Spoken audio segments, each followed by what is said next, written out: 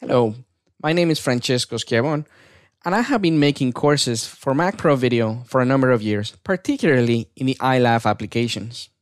Now, this time around, we're going to talk about iDVD. Let me show you an example of a project that was done earlier. In the course, we're going to show you how to make custom menus, how you can bring your own media, how you can make slideshows, of course, how you can make video clips, or rather, how you can add video clips to iDVD so they could be played, and as well as customizing the menus. iDVD has a lot of different features, and in this course, we're going to cover most of them. Definitely, at the end of the course, you'll be able to program your own DVD and then burn it to a DVD. In this case, I'm launching the DVD player to show you what this particular project looks like once it's finished.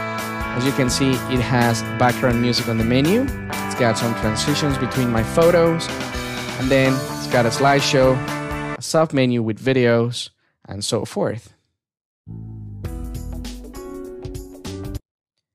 So at the end of the process, you should be able to create your own projects, burn into DVDs, and then share them either by playing them on your computer, giving your disc to somebody that could be played back uh, on any computer with a DVD player or on a set-top box plugged into a TV.